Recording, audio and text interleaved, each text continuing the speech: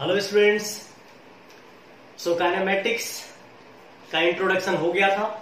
आज हम लोग इस चैप्टर को एकदम बेसिक से वन बाय वन कंप्लीट करते हुए आगे बढ़ेंगे।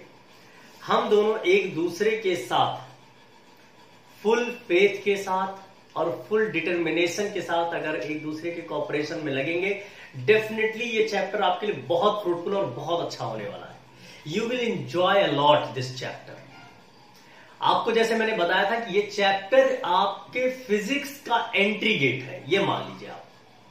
तो आज हम उसी में एंट्री करने जा रहे हैं। ध्यान रखना लास्ट चैप्टर से रिलेटेड जो बातें हुई थी, उससे थोड़ा सा समराइज करते फिर हम आगे की तरफ़ बढ़ रहे हैं। स्टार्ट करते हैं चैप्टर की शुरुआत। ये जो भी मोशन के बारे में स्टडी पढ़ रहे हैं हम लोग, उसका नाम होता है बेटा काइनेमेटिक्स यानी काइनेमेटिक्स क्या हुआ? फिजिक्स की एक ब्रांच हो गई। जो मोशन के बारे में स्टडी करती है। ध्यान रखना काइनेमेटिक्स का मतलब ही होता है स्टडी अबाउट मोशन लेकिन मोशन के बारे में स्टडी करना तो है, लेकिन मोशन क्यों हो रहा है इसके बारे में नहीं पढ़ना। मोशन क्यों होता है? भाई मोशन तो तभी होगा ना जब उस पर कोई फोर्स लग रहा हो किसी ऑब्जेक्ट पे। जब तक किसी ऑब्जेक्ट पे फोर्स नहीं लगेगा, जब तक किसी ऑब्जेक्ट पे टॉर्क नहीं लगेगा, तब तक मोशन नहीं हो सकता। लेकिन हमें उन कॉज को नहीं पढ़ना है। हमें केवल पढ़ना है मोशन के बारे में। तो कॉज कब पढ़ेंगे? कॉज पढ़ते हैं भाई साहब force and laws of motion यानी काइनेटिक्स में। दैट इज़ कॉल्ड काइनेटिक्स तो यहाँ हम पढ़ते हैं kinematics is the branch of physics which study about study about motion without considering the cause of motion अच्छा चलो भाई मोशन के बारे में पढ़े। तो मोशन के दौरान होती क्या क्या क्वांटिटीज है? मोशन के कारण जो भी क्वांटिटीज में चेंजेस आ रहे होंगे या जो क्वांटिटीज मोशन के कारण अफेक्ट हो रही होगी, उसके बारे में पढ़ना है। या उनमें जो रिलेशन डेवलप हो रहा होगा मेरे दोस्त, उनके बारे में पढ़ना। जैसे मोशन से क्या क्या चीज़ें होती हैं एक एक करके बात करो। मोशन से पोजीशन चेंज होता है। डिस्टेंस ट्रेवल करते हो आप। मोशन के कारण बेटा डिस्प्लेसमेंट होता है। मोशन के कारण स्पीड यहीं से निकल के आएगी। मोशन से ही बेटा वेलोसिटी निकल के आएगी।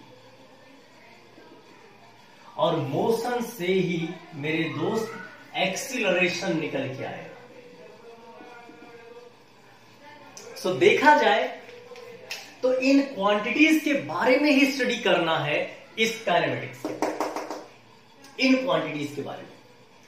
अब चलिए जरा एक एक करके इनमें से बात करते हैं और हमारा काम स्टार्ट हो। जाए लेकिन ध्यान रखना, बात जब भी हम मोशन के बारे में करते हैं तो हमेशा आपको क्या चाहिए दोस्त? एक frame of reference frame of reference अब ये क्या बला है? फ्रेम ऑफ़ रेफरेंस क्या चीज़ है? भाई, जब भी आप मूव कर रहे होगे तो आपके मोशन का कोई ना कोई ऑब्ज़र्व कर रहा होगा। या आप किसी न किसी के मौसम को ऑब्ज़र्व कर रहे होंगे तो वो जो ऑब्जर्वेशन होता है, उसी ऑब्जर्वेशन और उस ऑब्जेक्ट के मूवमेंट का एक कंसिडरेशन होता है, जिसे फ्रेम ऑफ़ रेफरेंस कहते हैं। फॉर एग्ज़ाम्पल अगर मैं यहाँ पर रेस्ट पे हूँ और कोई ऑब्जेक्ट मूव कर रहा है, मेरे से दूर जा रहा है तो उसकी जो स्पीड होगी, उसका जो डिस्प्लेसमेंट होगा, उसकी वेलोसिटी उसका एक्सेलेशन समथिंग डिफरेंट होगा। लेकिन अगर उसके साथ मैं भी मूव कर रहा हूँ, अब क्या होगा? अब उसकी स्पीड अलग दिखेगी, अब उसका डिस्प्लेसमेंट अलग दिखेगा, अब उसकी वेलोसिटी अलग हो जाएगी। कहने का मतलब क्या हो रहा है कि मेरे, यानी ऑब्जर्वर के रिस्पेक्ट में अगर सारी चीज़ें देखोगे तो ये सारी सिचुएशन वेरिएबल हो जाती है। और इसी को नाम दिया जाता है फ्रेम ऑफ़ रेफरेंस ऐसी कंडीशन में ऑब्जर्वर अपने आप को कोऑर्डिनेट सिस्टम अगर हम माने तो ऑब्जर्वर अपने आप को ओरिजिन पर रखेगा। और जो ऑब्जेक्ट मूव कर रहा है, उसको ऑब्ज़र्व कर रहा होगा।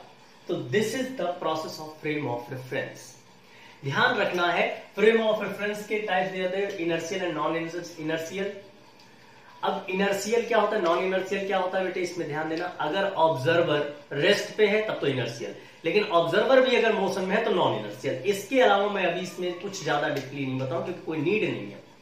लेकिन फ्रेम ऑफ़ रेफरेंस का मतलब ऑब्जर्वर के रिस्पेक्ट में किसी की स्पीड को देखना वॉच करना ही फ्रेम ऑफ़ रेफरेंस बन जाता है। क्लियर सो so, इसके बाद क्या स्टार्ट होता है? इसके बाद स्टार्ट होता है बेटा सबसे पहला कॉन्सेप्ट आपका डिस्प्लेसमेंट सो so, सबसे पहली हेडिंग डालेंगे बेटे सॉरी डिस्टेंस डिस्टेंस क्या होता है?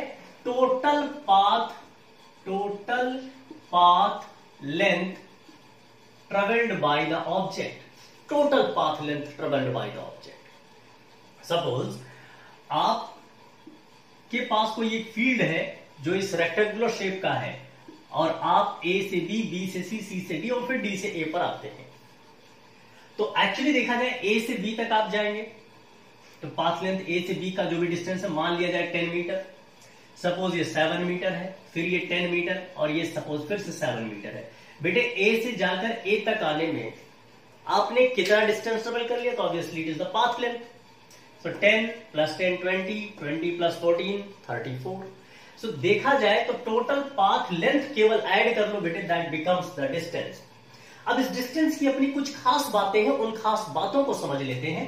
पहली बात है यूनिट होती है इसकी बेटा एसआई यूनिट की बात कर रहा हूँ मीटर दूसरी खास बात क्या है, ये स्केलर क्वांटिटी है। स्केलर क्वांटिटी का मतलब नॉर्मल एडिशन नॉर्मल सब्ट्रैक्शन को फॉलो करता है, इसको कोई खास लेना देना नहीं है। It can never be negative it can never be negative आप कभी भी नेगेटिव नहीं कर सकते इसको। ये बड़ी इंपॉर्टेंट बात है। सो नेक्स्ट अगर मैं बात अभी आगे डिस्प्लेसमेंट को हम शेयर करेंगे आपसे, ध्यान दीजिएगा ऑलवेज ऑलवेज ग्रेटर देन और इक्वल टू डिस्प्लेसमेंट तो ये बातें होती हैं। आप कभी देखेंगे डिस्टेंस से रिलेटेड ये बातें हैं। टोटल पाथ लेंथ होता है यूनिट ये होता है स्केलर होता है, ये ये कहानी है। ठीक है? लिखा जाता है बेटे डोनेशन जो नोटेशन इसका है दैट इज़ एस तो ये तो रही बेटा जी total value of the distance इसमें कुछ खास कहानी नहीं है बेटे। इसके तुरंत बाद हम स्टार्ट करते हैं कि डिस्टेंस कितने कम समय में कितना ज़्यादा ट्रेवल कर रहे हो, या कितना ज़्यादा समय में कितना कम डिस्टेंस ट्रेवल कर रहे हो। इसी रिलेशन से निकल के आता है बेटे एक नया term that is called speed यानी डिस्टेंस का टाइम से रिलेशन जो बताएगा वो है स्पीड आपकी एक नया टर्म एक नई फ़िज़िकल क्वांटिटी हमारे सामने डेवलप होती है। चलिए स्टार्ट करते हैं। हेडिंग डालेंगे बेटा जी स्पीड तो स्पीड का सिंपल फॉर्मूला क्या हो गया? स्पीड का कॉन्सेप्ट क्या हो गया? Total distance travelled by the object in given time of interval speed की तो यही बात होगी। फिर से इस बात को समझो। स्पीड। स्पीड का मतलब बेटा जी distance travelled by the object in the given time of interval speed को बेटा मैं v से यहाँ रिप्रेजेंट कर रहा हूँ। डिस्टेंस को s से और टाइम को t से। This the speed normal speed so अगर इसकी यूनिट की बात करा जाए तो तुरंत आप क्या कह देंगे? यूनिट क्या होगी बेटा जी? मीटर पर सेकेंड कैसी क्वांटिटी है? Because distance scalar time scalar तो ऑब्वियसली भैया ये भी स्केलर ही होगा। फिर अगर डिस्टेंस कभी निगेटिव नहीं हो सकता तो ये भी निगेटिव नहीं हो सकते। नेवो भी निगेटिव नेवो भी negative normal addition normal subtraction को फॉलो करने वाला फ़िज़िकल क्वांटिटी है ये। अगली बात, अगर हम बात, जैसे वहाँ डिस्प्लेसमेंट की किए थे जहाँ वेलोसिटी से इसको कंपेयर करते हैं, बाद में हम सीखेंगे क्या होती है वेलोसिटी सो ये हमेशा ग्रेटर देन होती है। ग्रेटर और इक्वल टू द वेलोसिटी तो ये कुछ बातें हैं जो स्पीड से रिलेटेड है।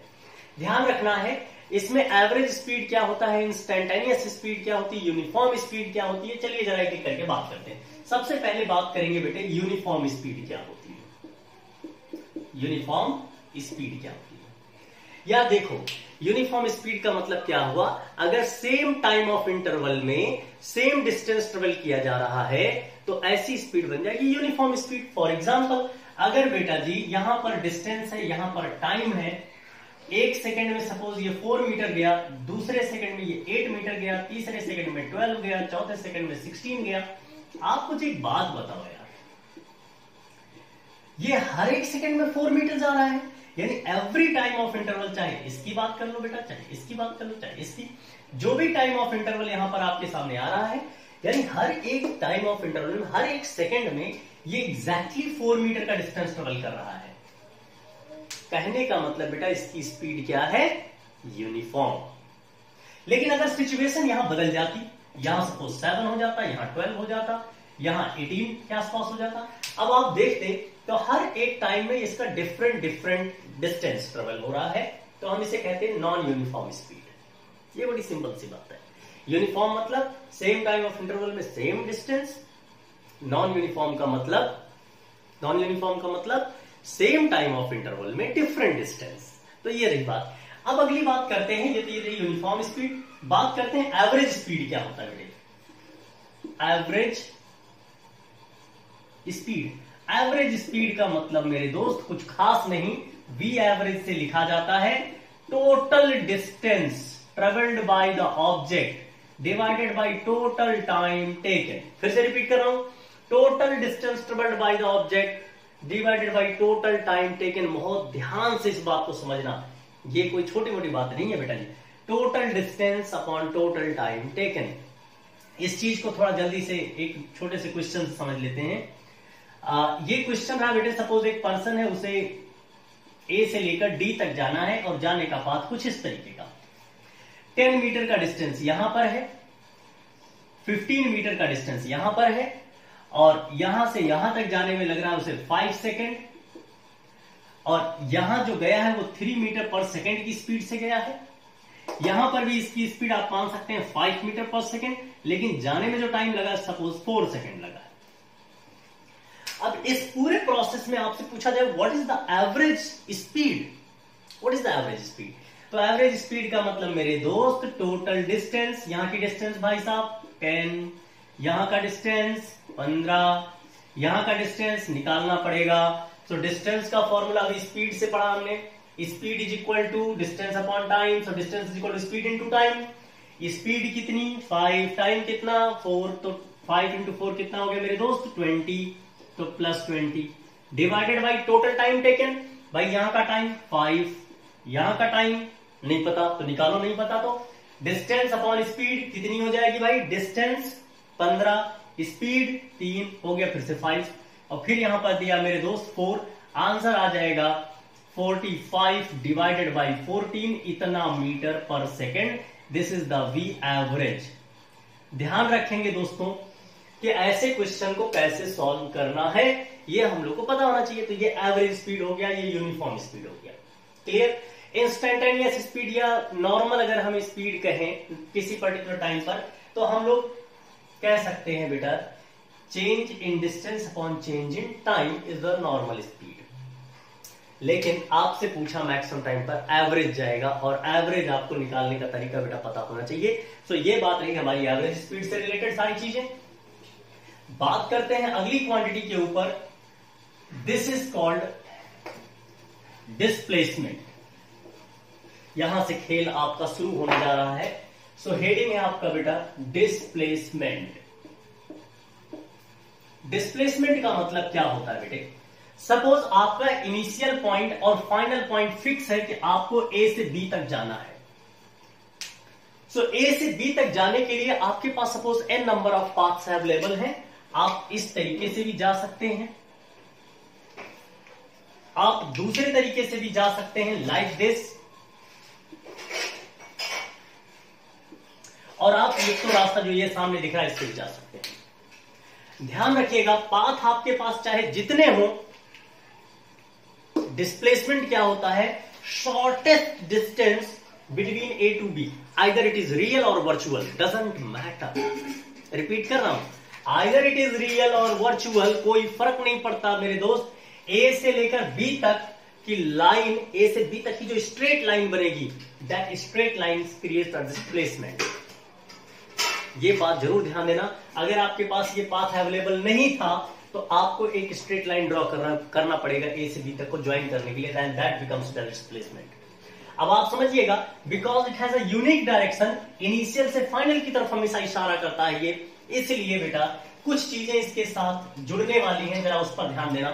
डिस्प्लेसमेंट का definition shortest distance shortest distance between initial and final point. Initial and final point. ये बहुत ध्यान देना बेटा।